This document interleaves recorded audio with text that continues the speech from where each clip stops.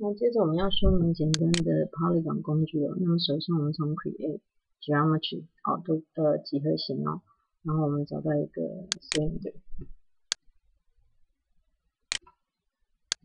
那么我们可以按这个键盘上的 F4 哦，打开它的呃 edge。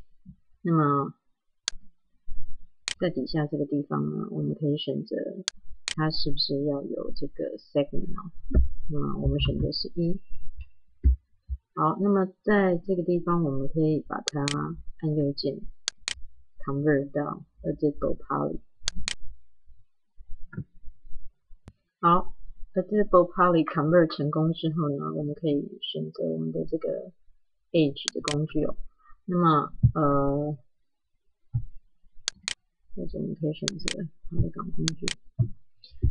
那在选择 Polygon 工具，如果我要很快的选择同一圈的话，有几个方法。一个是我选择 Polygon 点其中一块 Polygon，然后 Shift 按旁边的，它会把整圈绕起来。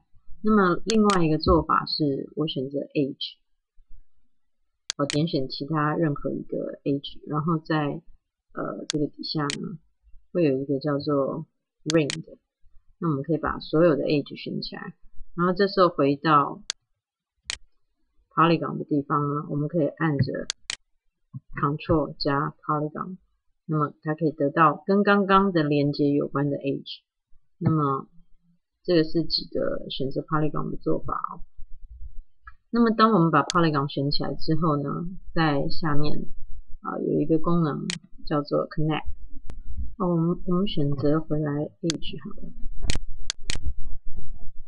然后在 Edge 选择的呃，或者说呃，在 Edge 选择的这个状态下，我们找到 Connect，然后在 Edit Edge 的地方有一个 Connect，那我们选择 Connect 的这个 Setting 的部分。那当它跳出对话框的时候呢，我可以决定它要几个 Connect 在这个地方，啊，或者是说它的位置。或者它 slide 的距离，那我们确定，再来把 polygon 选起来，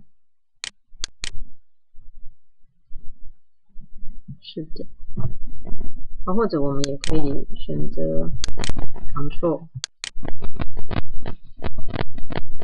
这两个那个存起来，然后我们可以在呃这地方直接选择 extra。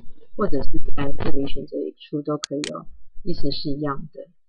那么得到一处之后呢，我们可以去做一些动作。但是现在有一个问题是，这个一处得到的不是我要的，所以我们还是从这个 setting 啊，就是说呃 polygon 选了之后呢，到这边 setting 来做编辑，会有比较多的选项。譬如说，呃，我需要它是从 local 的 normal 来选择我的 extrude 的方向。